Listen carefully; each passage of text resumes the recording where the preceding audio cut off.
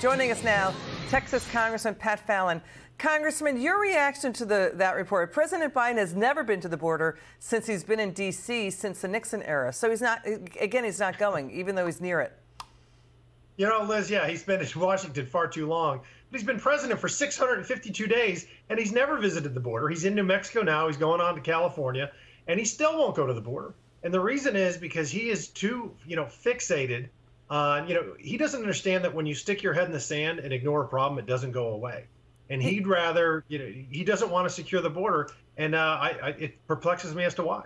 Congressman, the DEA, the Drug Enforcement Agency, says at least administration, at least half a dozen Mexican drug cartels are now swamping more than a dozen U.S. cities with drug gangs and crime. We're talking Chicago, L.A., New York City, Detroit, New Orleans, and Chicago have been trading spots as the number one U.S. murder capital.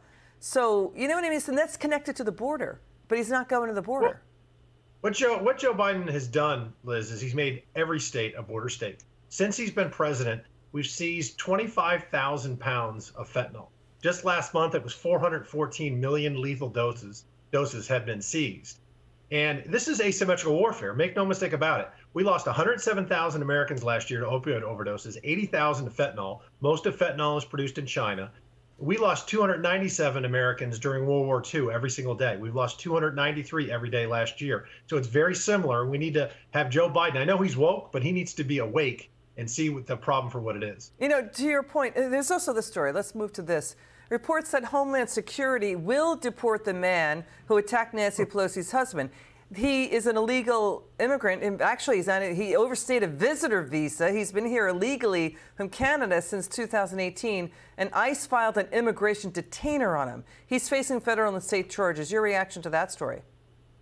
Well, you know, just like uh, firearms, they're perfectly fine if they're used to guard liberals, but they don't want us to have firearms and they're going to deport this fellow. They should deport him after he serves his time uh, for what you know when, if he gets convicted.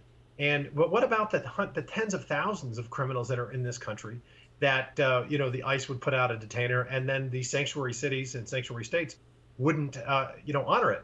That just makes all Americans less safe. And Congressman, uh, and they're not even following the law. To your point, at least at least three people were shot in Houston yesterday during what police described as a human smuggling operation. Police officers dispatched to an IHOP. They found two men. One guy was shot in the arm. They told them that they had escaped from human smugglers at a nearby hotel. This is happening in Houston. Your final word. Well, yeah, Liz. I mean, we we have seen the last month 227,000 illegal border crossings. That's the worst September we have ever had. The Mexican drug cartels make between 25 and 30 billion dollars a year with illegal narcotics, and they're making another about 14 billion on human smuggling because they charge $4,000 a person. So it's an absolute, not even a crisis, it's a catastrophe. And the border is on the ballot come next Tuesday. Got it. Congressman Fallon, thanks for joining us tonight. Appreciate you coming on. Thanks, Liz.